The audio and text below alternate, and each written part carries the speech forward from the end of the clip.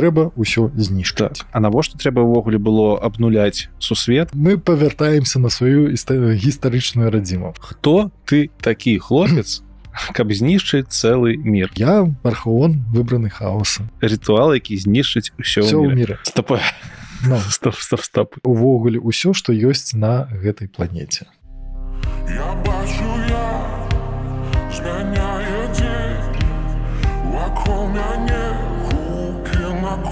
сім вітанкі. Вітаю. Вы слухаеце наступны выпуск пра сусвет вархамеру фэнтэзі battles у першым выпуску мы з шаноўным спадаром алесем паразмаўлялі пра старажытныя часы. Калі яшчэ не слухали то абавязкова паслухайте там было шмат і базавай інфармацыі про сусвет і цалкам гісторыя некалькіх тысячагоддзяў да адной адметнай падзеі про якую мы сёння і паразмаўляем. Падзея называется конец часоў ну да наколькі я разумею конец часоў гэта простое что геймс workshop вырашыў скончыць сусвет старажытных часоў і распачаць новый які да. age of сигмар так. І дзеля гэтага яны зрабілі вялікую падзею. Угу. і про гэтую падзею мы паговорым. Ну спачатку то трошки чаму увогуле геймс workshop вырашылі гэта зрабіць? Давай. Э, на момент апошняй рэдакцыі э, старых часоў тады тады фэнтэзі батлс уваход у у вархамер фэнтэзі быў настолькі цяжкім што патрэбна было неяк гэта ўсё упрасціць там былі вельмі шалёныя правілы. Правілы правілы як пераводзіць гэтае мяне ну як ваююць увогуле на стале. І як ужо мы распавядалі у папярэднім выпуску. Там армія складалася не з ну з 2000 ачкоў але гэта было ну амаль там 100-200 мініяцюр. Ну і для чалавека які хацеў увайсці ў вархамер патрэбна было купіць ну коробак збарнаваць да халеры грошай да, коробак 20 на якая каштуе кожная там 30 35 даляраў напрыклад. Вось дагэтуль яшчэ купіць фарбы ўсё гэта пафарбаваць. І да таго ж э, якасць гэтых э, мініяцюр была ну такая себе А навошта мініяцюры фарбаваць? Ну афіцыйныя правілы не забараняюць граць не пафарбаванымі мініатюрамі так? ёсць афіцыйнае правіла якое дазваляе граць мініяцюрамі у якіх ёсць тры цветы тры колеры. Ну але ну шчыра кажучы шмат жа хто просто грае не па афіцыйных ну як-то калі у тебе няма часу фарбаваць есть мініяцюры. На халеры табе тебе табе іх фарбаваць. Ты можешь взять сябра дамовіцца за іграць не пафарбаванымі. Можна. Но не тут яшчэ такое увайшло что вархамер гэта не толькі ну в увогуле гэта такое хобі на ўсё жыццё. Хлеш чым гераін. Да? і гэта можна паставіць ну, не толькі гэта можна граць гэта яшчэ можна паставіць кудысьці на полку і глядзець што вось вось яно такое прыгожае. Вот. Таму гэта трэба пафарбаваць да таго ж геймс воркшоп яны правялі вельмі вялікую працу. І калі мы паглядзім на стары міры там ёсць вось гэтая брытонія там есть княствы і ў кожнага княства быў разработаны свой герб сцяг афіцыйны. І каб іграць за гэтую армію трэба было ўсё гэта вот так пафарбаваць. Все зразумела. Ось, і ёсць такі нават факт што яны э, да гэтага пазвалі нейкіх геральдзістаў якія афіцыйна працавалі на геймс-воркшоп і ўсё это суадносілі з старажытнай Еўропай і разрабатывалі там для кожнай арміі вось свае сімбалі і як гэта як трэба было фарбаваць там ногі руки там нейкія там камзолы і ўсё і такое Вось. І гэта элемент такі э, калекцыя збірання. Гэта элемент калі можна что-то сваімі ручкамі парабіць і элемент што можна гэтым пайграць. Ну добра добра. А калі ты прыходзіш э, на ігру з недафарбаванымі мініяцюрамі ці нават з непафарбаванымі на цябе хутчэй паглядзець як на такога сабе гульца і просто не дазволіць граць ці ці як адбываецца? якую ты мееш маеш на увазе гульню?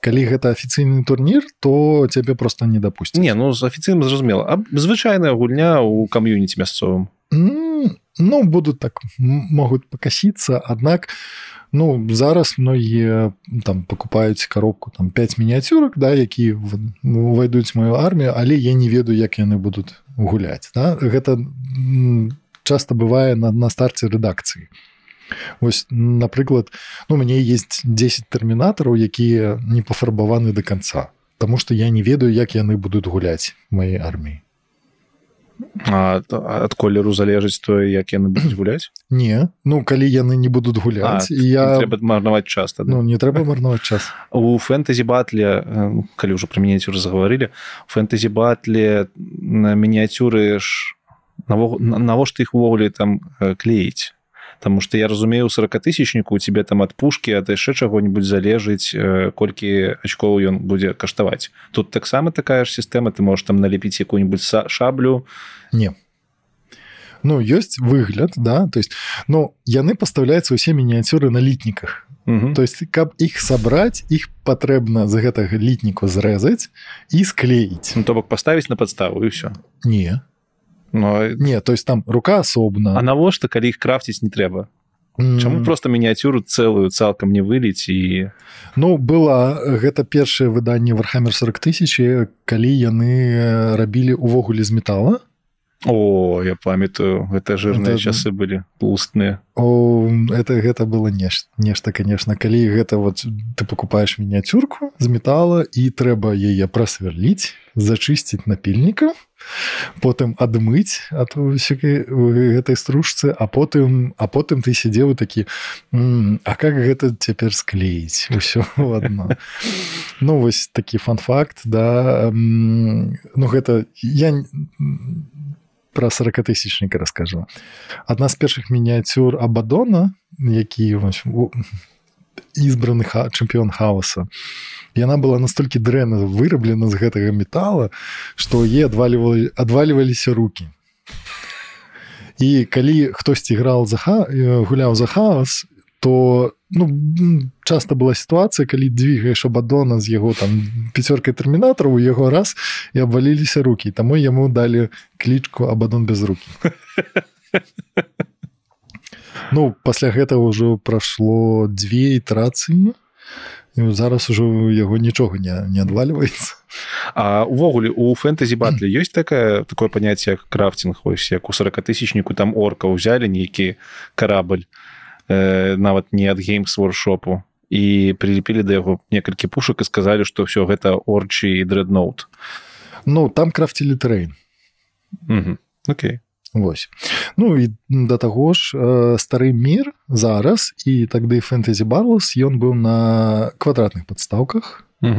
Зараз яны перайшлі на такія колавыя ну маленькае кола тады былі квадратныя і зараз калі напрыклад ты захочаш перанесці сваю армію з сігмара у стары мір ну вось трэба пераклейваць асновы? Да.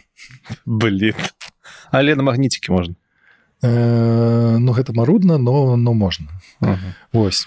Ну зараз напрыклад вот новая рэдакцыя выходзіць э, сігмар это другая рэдакцыя ён под кодавым імем новы аос Вось і там яны перавыпускаюць армію скавінаў. І старыя мініяцюркі усе якія яны ў уходзяць у стары мір. І патрэбна іх зараз там калі чалавек сабраў армію з 200 з 200 скавінаў іх трэба атадраць ад э, гэтых колавых баз і паставіць на квадрат. Жорстка.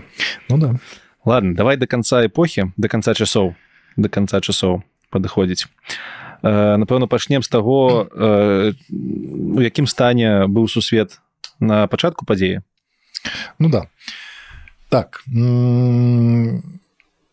пачаткі ну пачатак падзей трэба трэба ўсё знішчыць каб на на гэтым паставіць ну сфармаваць новы мір. Что знішчаць да?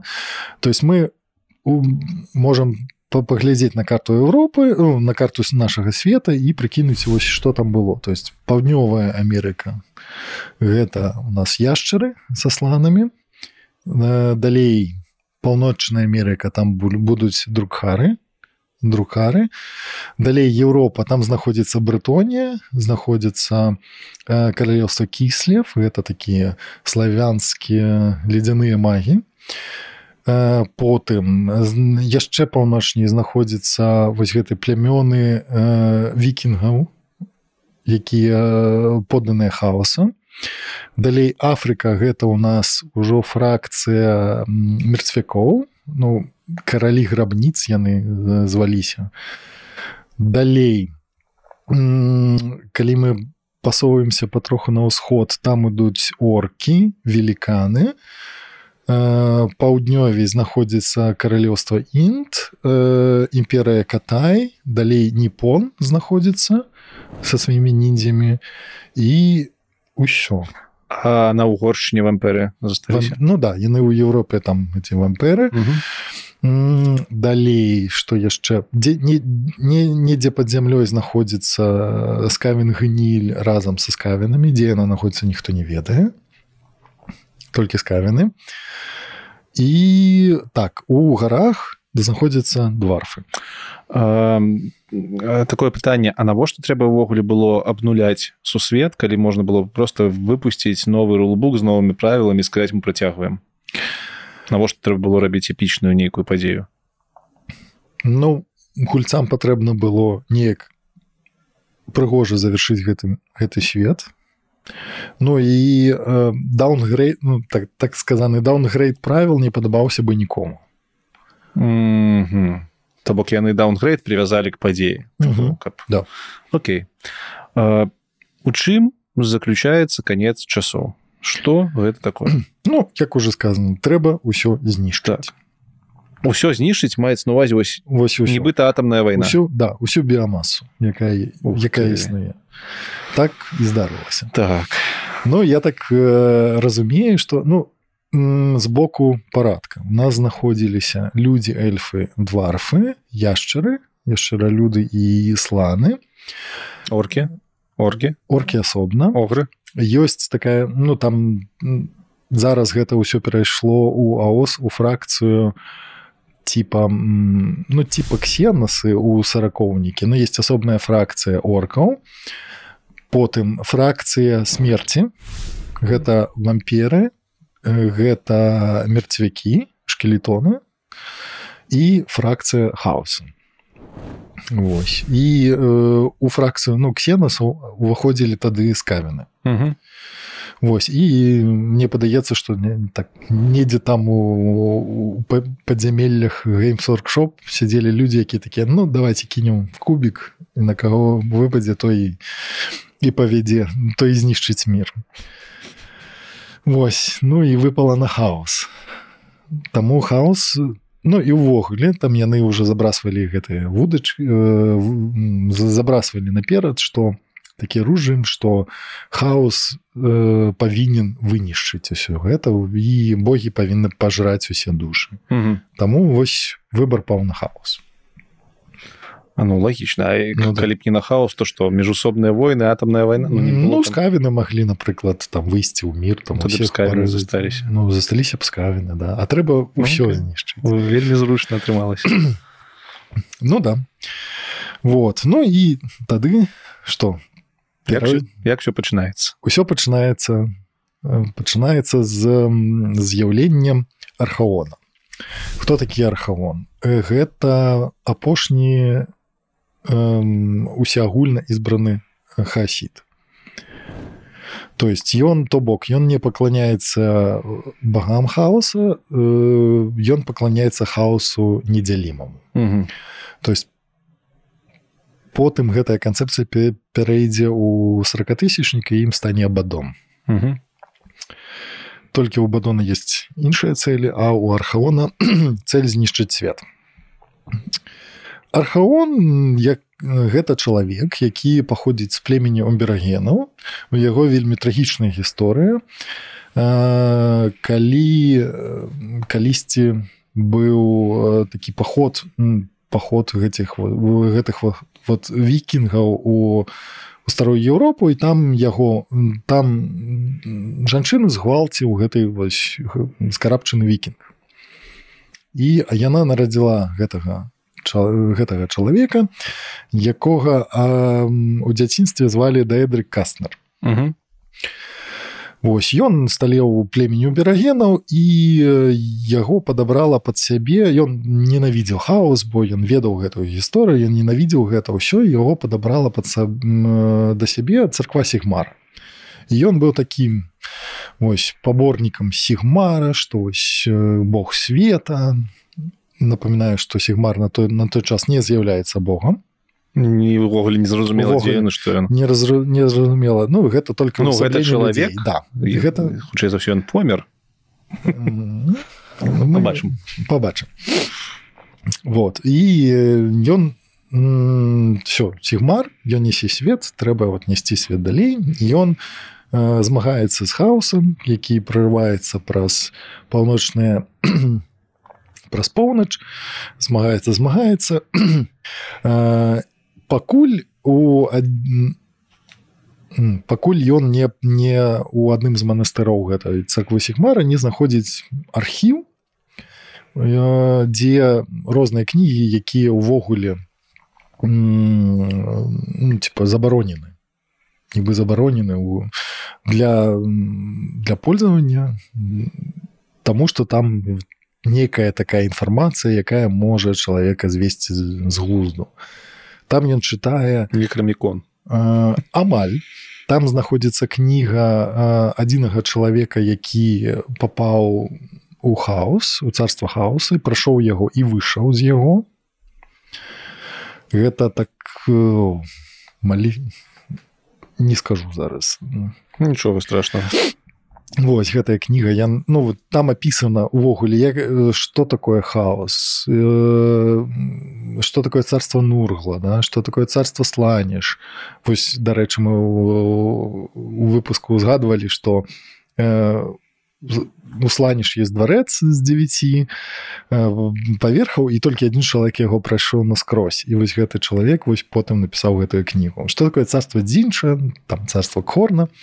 Ён чытае гэту кнігу і такі ага хаос. Вось такое что что такое хаос. Ён бы мог бы гэта выкарыставаць каб бароться з хаосам аднак яму яшчэ попадаецца кніга пророка які хасідскага пророка які перадказаў конец часоў. Mm -hmm. і ў гэтым перадказванні ён прям прям побачыў сябе? Да і праз гэта змяніў стаўленне. Да. Я не магу падмеціць што гэта вельмі падобна на ересь хоруса з 40 тысячніка чалавек які бароўся за ўсё добра ну умоўна там за волю імператора а потым яго скарабціў хаос.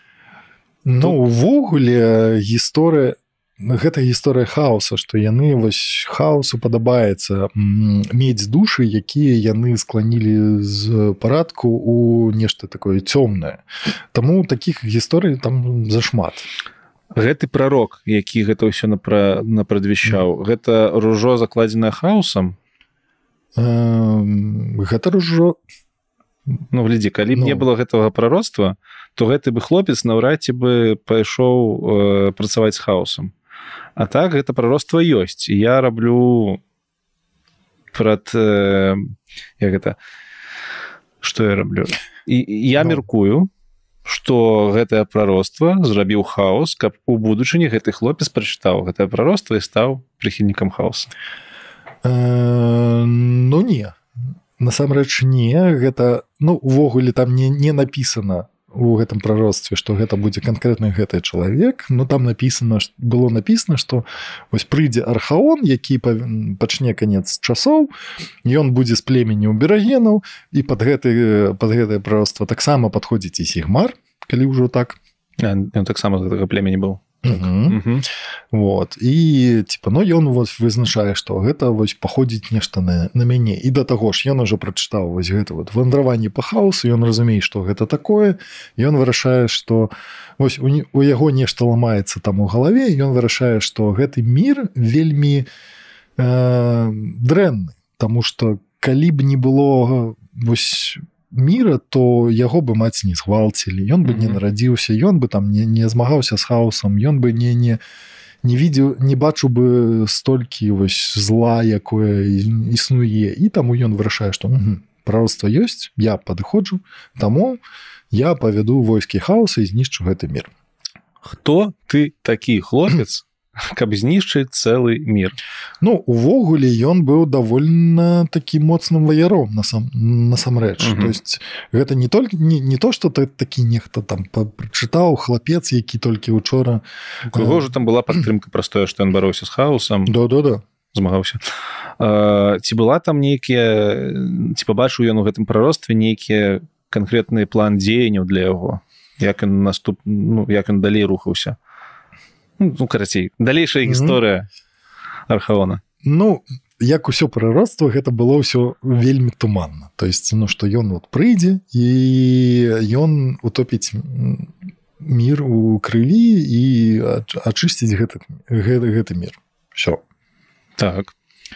Ну і ну і вось яму патрэбна но тым часам богі хаоса яны не сильно і жадалі яго мець таким ось пачынальнікам конца свету. Таму яму патрэбна было даказаць багам хаоса что ён можа гэта э, зрабіць что ён прынясе ім крывавую жертву. Вось что ён здольны павесці арміі хаоса і што ён і самае галоўнае што ён робіць гэта не для таго каб самому праславіцца а для таго каб праславіць хаос. Таму ён яму прыходзіць 6 выпрабаванняў.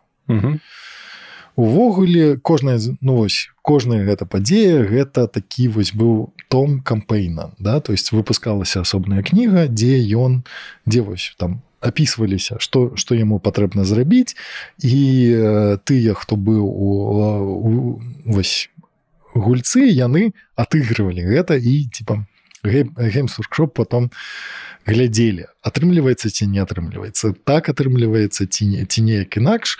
І пасля гэтага яны збіралі ўсю статыстыку по атыгрыванню аддавалі аўтарам і ты і тыя пісалі ўжо лор.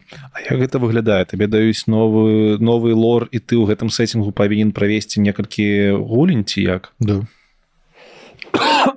А што значыць правесці гульню ў гэтым сетингу ты ну ты павінен нейкімі войскамі якія ў ім ёсць э, карыстацца ці ну вось ну, ты такі але сядзіш і для угу. цябе прыходзіць там першае вось выпрабаванне апісана ты напрыклад разумееш што тебе ну там не ведаю няма войскаў якія павінны там быць все ты адвальваешься так? Ну да. Угу. ну напрыклад да там першы кампейн вось мы паціху пакрочым наперад да? Першае першага яго выпрабаванне гэта было атрымаць марку хаоса. Ну то бок знак які паказвае што ён вось такі вялікіх прадстаўнік хаоса чэмпіён хаоса. І выпускаецца кніга дзе апісана што э, войскі хаоса ідуць там туды туды туды яны будуць там змагацца з тымі з тымі з тымі ўсё а, і ўсё і збіраюцца афіцыйныя гульні з тымі войскамі і панеслася ну да. То бок магло здарыцца так что напрыклад вось марка хауса гэта кампейн э, войск хауса супраць цёмных эльфаў. Магло здарыцца так что цёмныя эльфы бы перамаглі і ён бы не атрымаў марку хауса і вось я не ведаю чтобы тады геймсурыкшо прабілі. Ну, придумали бросілі б кубик ну да. Но неяк по-іншаму бы отыгралі но першы ну вось да. Далей мы рушым ён прыходзіць у мир ну на частку дзе знаходзяцца цёмныя эльфы. Ён ведае что там знаходзіцца вот это вот э, марка хаоса і пачынаецца вялікая вялікая там э, падзея. Там хасіты б'юцца супраць цёмных эльфаў там вылазіць малікіт такі малікіт Ну да ён же ж э... А ён же там правіў усім гэтым правильно да. Чакай а так гэта ж цёмная эльфа яны ж хаос таксама ну прыкланяюцца да хаоса. не, не. яны а яны яны не паклоняюцца яны просто ім Яны пожаны, прост- ну не да. пожаны а скрапчаны Нет. караб ну карабты гэта уже калі эм, істота пачынае пакланяцца хаос А яны што яны просто былі гвалтоўцамі да А окей добра ну как это ну да. Ім просто падабалася садамаза Мгм. і все такое. Напэўна павінны быць цікавыя фанфікі па ім. Э, да там і не толькі фанфікі там і афіцыйны лоры вельмі цікавы. Добра добра М, і што і ён прыходзіць туды і адбываецца бойка? Да. А што з сябе ўяўляе сама гэта метка хаоса гэта просто трэба было тыпу перамагчы цёмных эльфаў хаос на тебе звяртае ўвагу ці гэта нейкі артефакт не гэта артефакт это матэрыяльны артефакт які увасабляе сабой шасціканечную зорку. Э, не не зорку это шасціканечная эмблема хаоса. Яна вось першым яе прыдумаў майкл муркак увогуле канцэп канцэпцыю хаоса і потым яе ўжо геймсоркшоп под под сябе падбрылі А адкуль у цёмных эльфаў гэтая метка была? Яна просто была там у нейкім храме А, які на- знаходзіўся на іх тэрыторыі. Ну вось яны існавалі яны ведалі что там что-то такое ляжыць такое не хасіцка але мы хаос не любім таму прыйшоў бы забраў просто ён пішоў. ну а ён прыходзіць разам з э, з войскамі хасіту а самому не там Не, ну- режим не ну гэта ж не. Ну калі калі паглядзець да что такое хаос увасабленне чатырох багоў. Ну вось даюць яму ён говорит я буду вас прадстаўляць такі, Окей ну, бяры вось цябе берсеркі хорна да? То есть закованыя ўлаты хасіты у якіх толькі одна мэра э, мата э, мэта. мэта. Забіць як мага больш. Мгм. то есть кроў чарапа для трона чарапоў.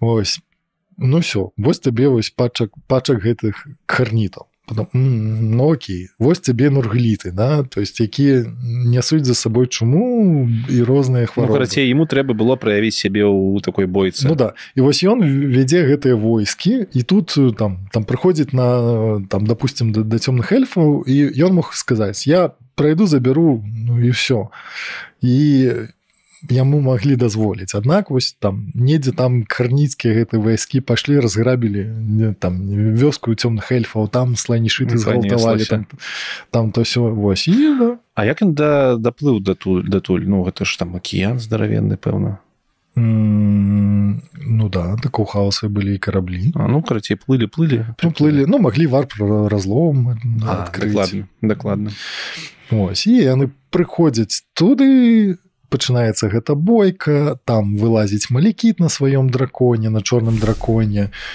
Адкуль у малікіта быў дракон? У нее ну эльфы былі. Что мы не казалі про гэта. Напэўна не. Ну увогуле драконы яны існавалі ў гэтым свеце яны былі. Ну, мы казалі што яны існавалі яны але... існавалі і эльфы там была частка племён эльфаў якія змаглі падружыцца з драконамі і яны былі як усаднікі на драконах. Окей Ось. Ну малікіта быў чорны дракон ён там вылез тоже атрымаў трындзюлей ад архаона той забіў гэта чорнага дракона малікіт разлаваўся но увогуле там шмат крыві прылілося і астаткі цёмных эльфаў яны просто выселі на свае караблі і сказалі ну вас ну вас на... нафіг типа мы мы мы павяртаемся на сваю іста- гістарычную радзіму Ну і все архаон атрымлівае гэтую метку хаоса хаоса недзялімага становіцца таким чэмпіёнам хаоса. Яна яму нічога звышмагутнага не дае просто ён становіцца чэмпіёнам. Фармальна богі яго да ён ну м, богі зараз разумеюць што ён прадстаўнік хаоса Мгм. і яму па- патрэбна дапамагаць. Все зразумела. Што ўжо немало Ну да. Все далей выходзіць другі кампейн дзе ён дзе архон збірае сабе даспех. Гэты даспех быў першым да, даспехам першага чэмпіёна хаоса і ён даваў неуязвімасць. То есть яго не нельга было прабіць. Гэта уже кампейн калі ён э, калі ён Вось калі да гэта быў кампейн калі ён э, пайшоў у землі мерцвякоў і вось там такая эпічная бойка была калі яго з духам латаў з духам гэтага першага чэмпіёна хаоса які загінуў. І той яго выпрабаваў а ці здольны ён вось э, увогуле надзець гэтыя латы ці здольны ён не адкінуць свае амбіцыі як чэмпіёна хаоса і весці увогуле хаос наперад. а не толькі вось радзі свайго задавальнення. -huh. Ну і ввогуле ён ён атрымаў перамогу тому что гэты чэмпіён хаоса ён быў з племені умберагену як і сігмар як і архаон. І у там смешная гісторыя што яны былі амаль роўныя адзін аднаму але архаон был трошки слабей Вось і калі ён прапусціў зноў нейкі удар то ён вырыгаўся народнай мове берагену і гэты дух не неяк апешыў і архаон нанёс апошні удар а дух не ведаў што ён з адного племені? не. І вось таким чынам ён атрымаў да пашанцавала ён атрымаў гэтыя латы і ён стаў непераможны. То есть ну як можна перамагчы чалавека у латах якія не нельга прабіць. Вось трэцяя кампанія Пэй, давай, давай так третий no. Ну. артефакт нафиг кампейны а то кампейны яны кажаш кампейны no. но выдергвае сусвету у мир фізічнай рэальнасці третий okay. артефакт третий артефакт гэта э, здабыць вока дракона так блин можно было на першым артефакце не забіваць э, чорнага і здабыць вока не там быў э, там быў спецыяльны дракон ага. спецыяльная вока. Увогуле гэта артефакт дзінча які дазваляе глядзець і прагледжваць усе плыні рэальнасці і будучыню у будучыню глядзець. Таму трэба было заваліць гэта дракона і выкавраць з яго глаз і ён як гарри пота на метле ну, на метле? Насамрэч на метле?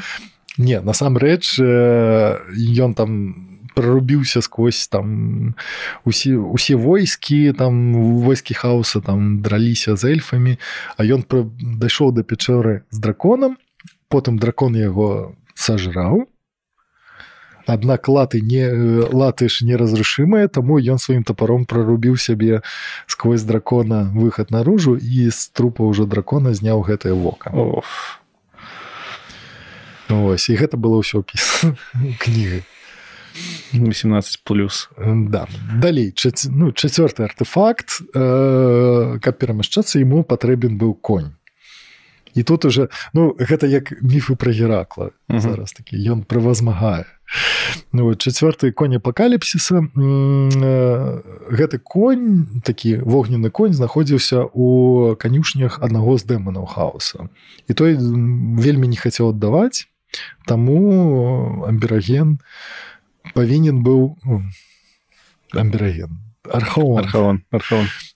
Архаон з племенем берагенаў павінен быў неяк здабыць гэта коня ну там ужо войска дэманаў супраць демона не прызавеш. Таму я як этот сплинтер сел паміж там гэтых дэманаў прабраўся прабраўся дашоў да да да гэтай канюшні сеў на коня і конь сказаў ну не подумал типа ты кто такі тут такой, я архаон выбраны хаоса такие, и что? Типа, ну все поехали поехали такой, я не буду типа ну давай ну я короче происходит такая ментальная бойка ну гэта алюзія на такого на александра македонскага з яго буцефала.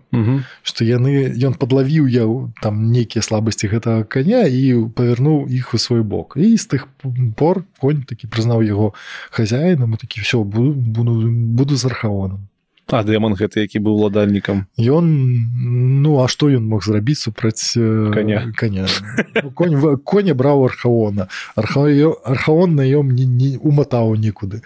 Все ну ну что ну гэта абраны хаоса ну Окей так, а дэмона не распуцін клік звалі? Не, не прабач тут пытанне адразу грунтоўнае а ўсе гэтыя артефакты ему хто казаў браць? Ён сам просто глядзеў што яму патрэбна і набіраў сабе ці ему звыш, гэта, гэта было ну нейкае прародства. Прародства што ён збірае гэты 6 артефактаў хаос пакуль што падобна нібыта ён намагаецца стаць імператорам з 40 тысячнік ну. ну, бессмяротны ну, да. можа глядзець у будучыню ну, перамяшчацца можа перамяшчацца такое ну далей далей. Э, пятый. Гэта гэта меч. Яму павінен быў меч зброя належала і гэта быў клинок так званы клинок забойцы каралі это той самы якім ніша убілі да.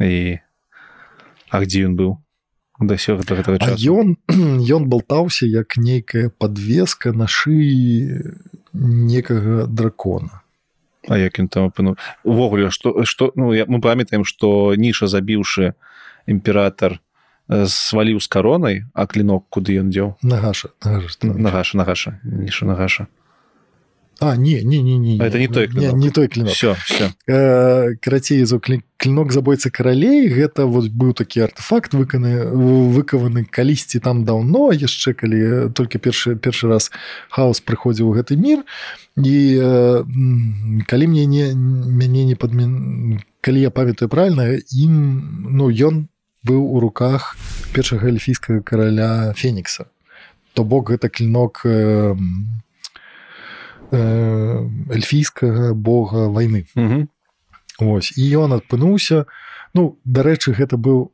як подвеска ён вісеў на на шыі дарэчы гэта быў не, не столькі дракон сколькі гібрид дракона і огар то есть такая вялі, вялікая пачвара якая сябе да ну там была тоже такая бойка бойка яны драліся і по итогу ён такі забіў гэта дракона угра ну у яго ўжо было артефактаў я атрымаў гэты меч. Ну і все фіналачка э, яму была павінна належыць карона. Но гэта не та карона якая нагаша увогуле гэта карона это шалом ну шалом корона першага чалавека які прысягнуў на, на на вернасць хаосу. Той быў пахаваны э, на на севере і там быў вялікі вялікі кампейн і вялікая вялікая цікавая кніга про тое як э, хаос выдаў задачу першаму дэману белакору які дагэтуль вёў усе войскі хаоса э, задачу каб ён дапамог архаон расказаў дзе знаходзіцца гэтая карона і каб ён дапамог. І вось там архаон там. З дапамогай белакора ён прыходзіць знаходзіць гэту пячору і вось ён толькі ўжо цягнецца каб дастаць гэтую карону і пачынаецца апошнія выпрабаванні ад кожнага з багоў хаоса. І то бок дзінж яго дзінж нургал хорн э, сланіш яго там спакусы з усіх бакоў і кожнаму патрэбна было даказаць што ён архон паважае гэтага Бога і будзе весці войскі у славу гэтага Бога і ўвогуле хаос mm -hmm. там вельмі цікава калі пачытаць гэта ўсё і там там асабліва прасланніш мне падавалася як архаон змагаўся з зусім што што можа яму даць Бог ну што Бог похаці похвы похвы э, там с... і пахвы. да.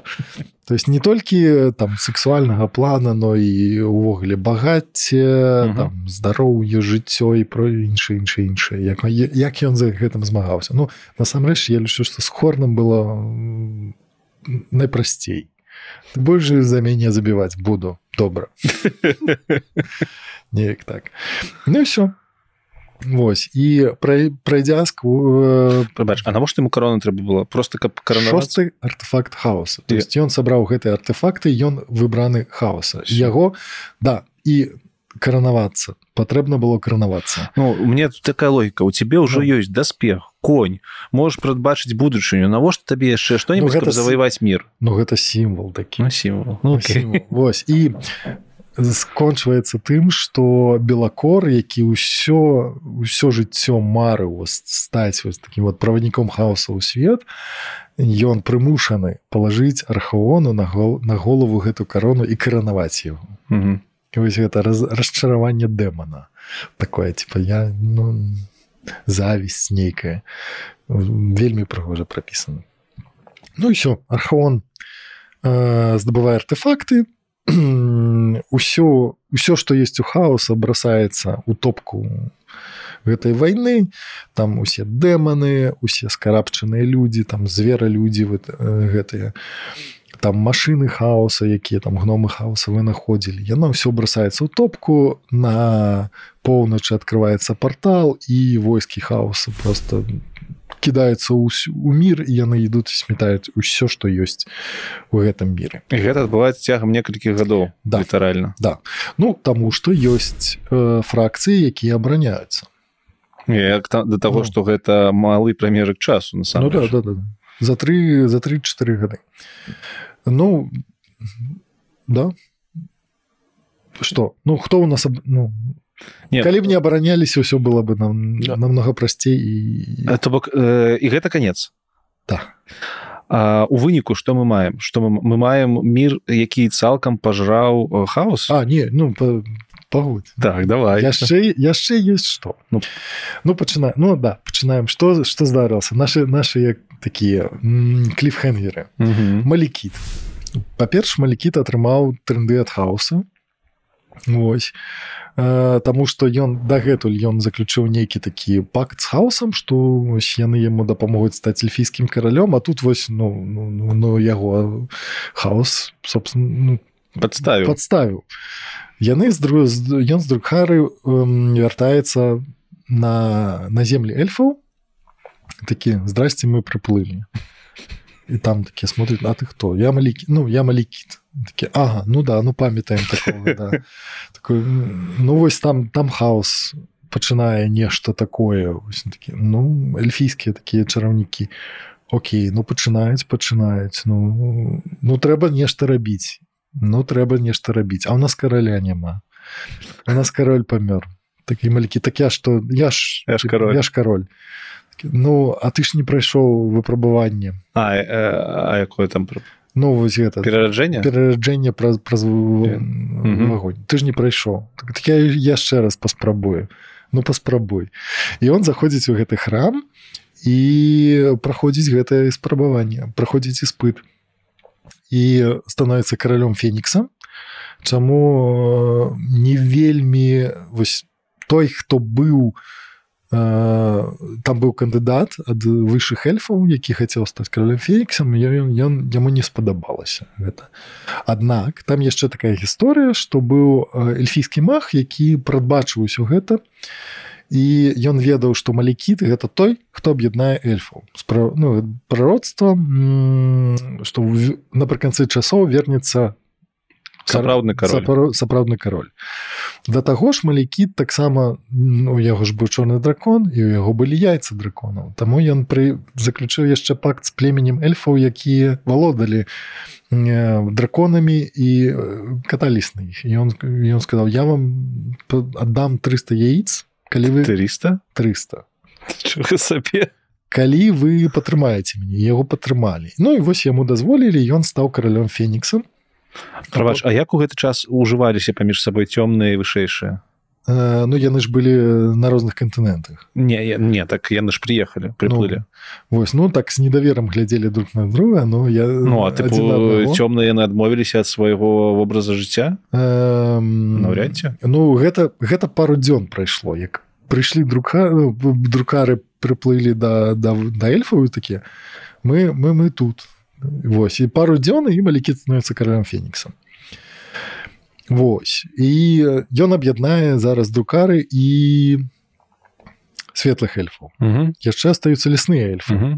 Тым часам у лесных эльфаў што пра, пра, што адбываецца вось гэты вось э, звералюд які там 5 ці 6 разоў яны яго забівалі ён усё адраджаўся адраджаўся ён нарэшце такі сабраў армію звералюдаў якія далі прыдзялей лесным эльфам і тыя понялі што ўсё.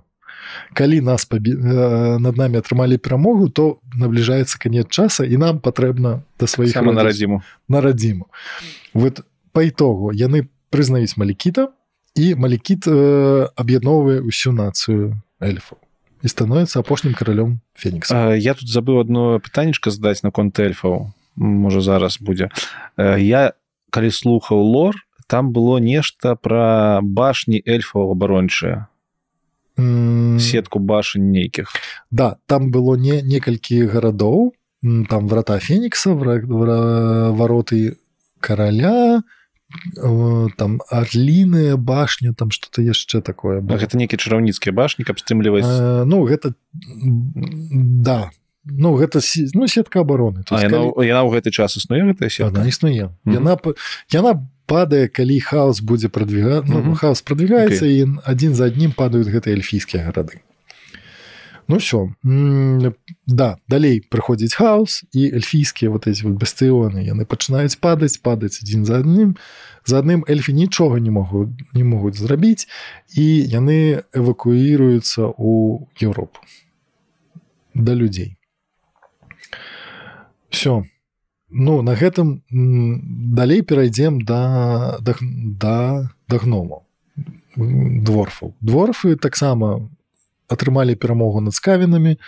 Яны дабілі э, дворфаў хаоса аднак э, прыйшоў вак орхаў оркаў якія іх там э, вельмі вельмі паслабілі і адкінулі адкінулі і таму увогуле дворфы выйшлі з паверхні і э, пабачылі што што тварыцца ў свеце і вырашылі што у нас там калісьці былі дагавары з людзьмі так трэба туды обратно з якога фігу у гэты час оркі залупаліся супраць дварфаў калі ўжо цемра хаос ну, надвігаўся? Ну цемры яшчэ не было. Не цемра хаос. Хаос. Ну вось чаму б не па чаму б не падрацца? Гэта вось ну оркі. Окей. То то бок оркі потым не аб'ядналіся супраць хаоса не, не. Угу і такім чынам эльфы людзі і дварфы аб'ядноўваюцца аб'ядноўваюцца далей яны ўспамінаюць што былі такія яшчары ісланы яны з імі ўваходзяць у контакт яны і сланы ім даводзяць што гэта все пача пачалося і яны неяк пытаюцца разработаць тактыку што што рабіць ва ўсім гэтым папутна мы успамінаем пра дзяржаву вампіраў э, на чале з карштайнамі і вось аднаму з карштайнам прыходзіць ідэя што ну не можа же хаос э, уладарыць над трупамі Таму нам патрэбен хто нагіш нагаш. Нагаш. Вось яны вырашаюць што патрэбна воскрасіць нагаша. Яны праводзяць там нейкі рытуал э, падчас якога яны знаходзяць такі карону нагаша якая становіцца потым падставай для яго воскрэсення Аднак яму павінна патрэбна кроў. І адна і не ўсялякай кроў а толькі вялікай чыстай эльфійскай дзевы. І по итогу яны варуюць улюбёную малікіта тую самую і забіваюць забіваюць і нагаш воскрэсне Ох ты но малікіт не так.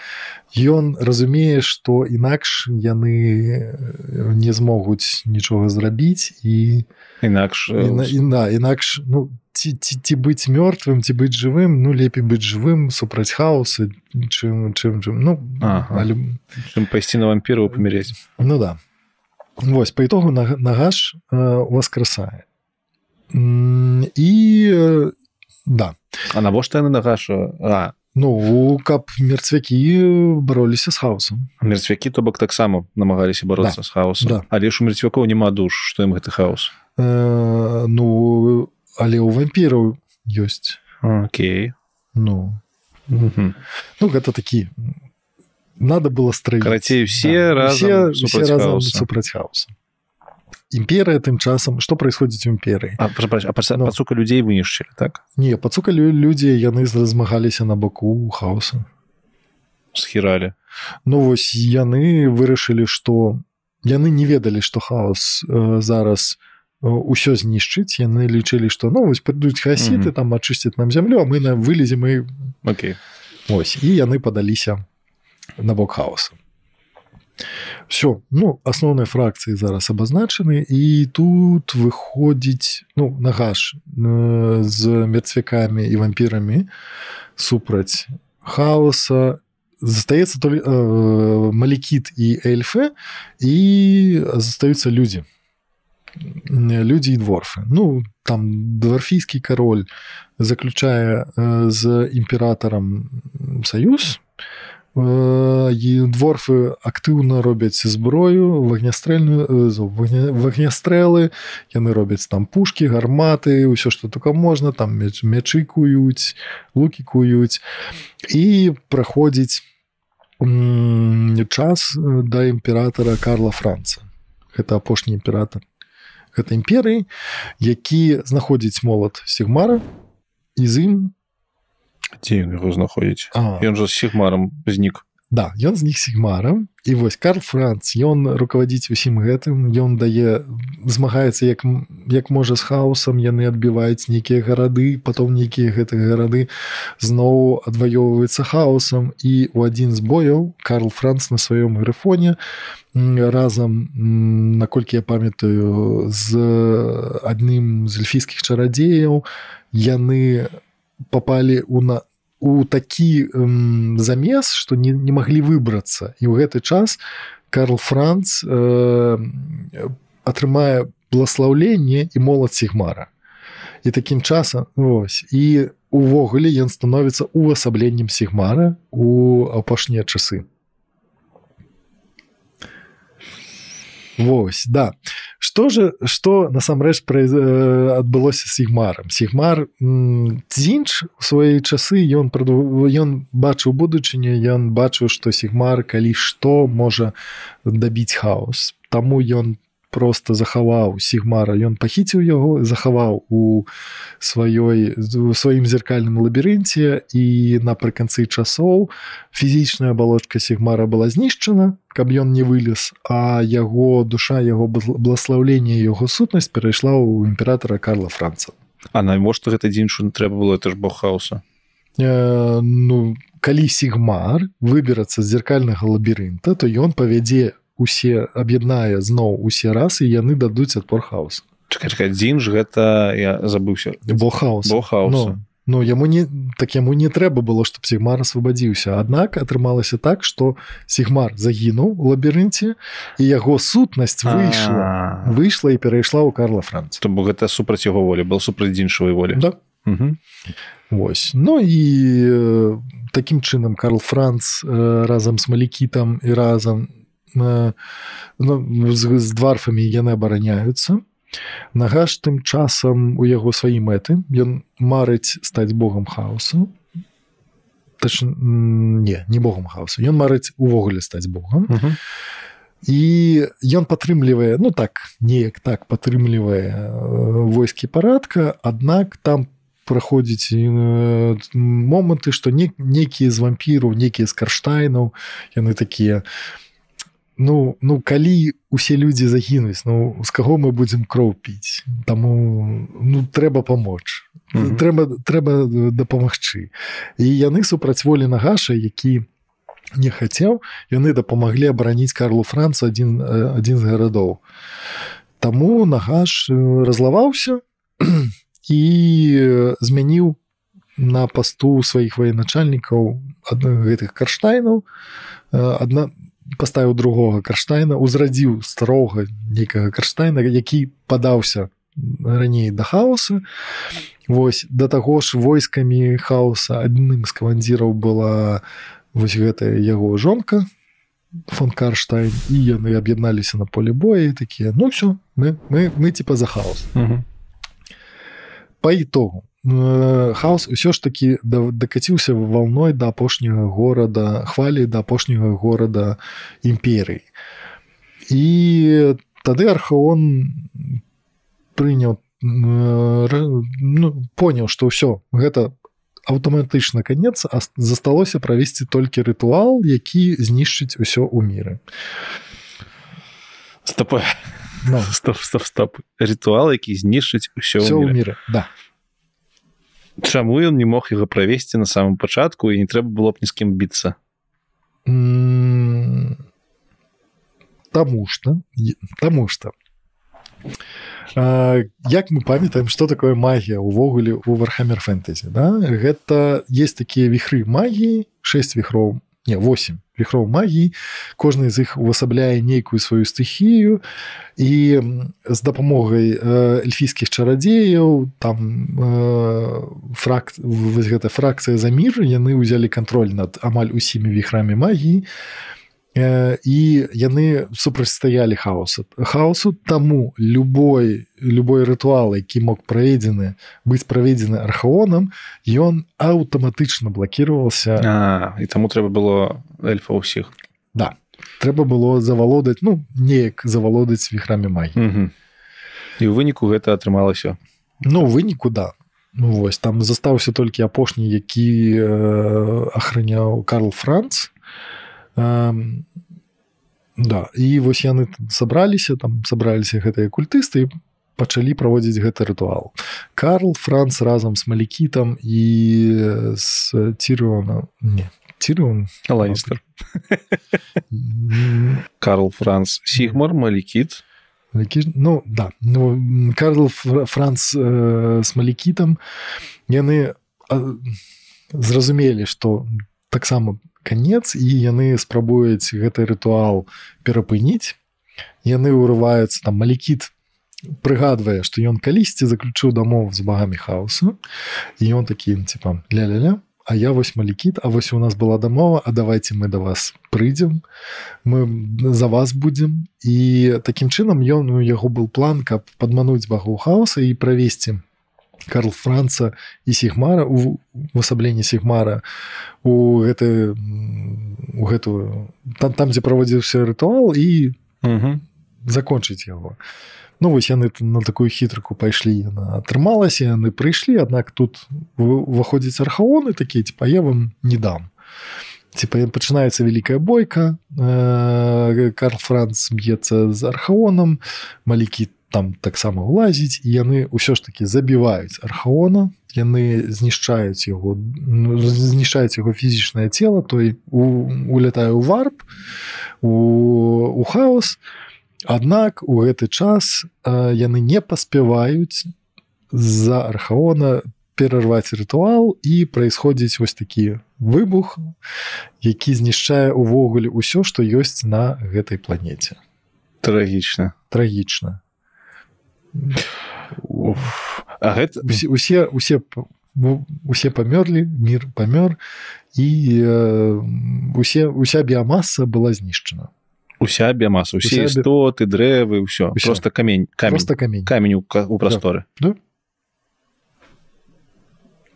і што і ніхто не перайдзе ў эпоху сігмара з гэтага мира? Да, да гэтага мы по, так, гэта новыя кліфхенгеры так? Да новыя кліфхены ну, тады давай э, забайцем на наступны выпуск.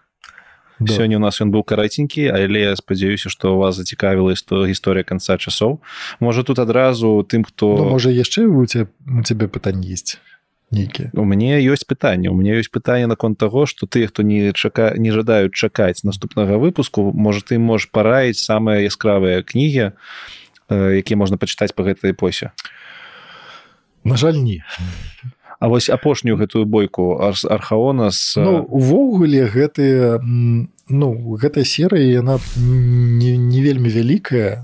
Там наколькі я памятаю 5 ці 6 кніг калі што паправце у каментах. Вось ну там яна праглынаецца вельмі вельмі. Ну, то бок гэта серыя кніг да, можна да, пачытаць усе даведацца. Да, як да. называется Та...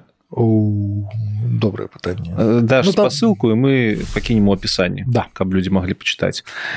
І ну у мяне пытанняў больш няма але трэба накідаць кліфхенгераў тому что ну, у мне ёсць пытанне блин но яны будут далей да ну далей развіваецца цэлы сусвет эпохі сігмара яны блин абнулілі ўсё да. па-першае там з'явіцца сігмар ну хутчэй за ўсё ніяк ну, да. ён з'явіцца там застануцца напэўна богі хаосу но яны засталіся ну, конечно і все не да, ну тады ладно тады будем далі слухаць Дякую табе алесь за сённяшнюю размову. І вам дзякуй. Вы хто паглядзелі паслухали подписывайтеся на подкаст цёмны лёс подписывайтеся на подкаст худа не было дзе лі з'яўляецца адным з хастоў і хлапцы да дзяўчыны распавядаюць пра мір фантастыкі ды фэнтэзі. Таксама подписывайтесь на нстаграм і твиттер алеся. Ну і побачымся пачуемся ў наступным выпуску апошнім по фэнтэзі батл але не менш цікавым ну і не губляйте сваю беларускасць. Да пабачэння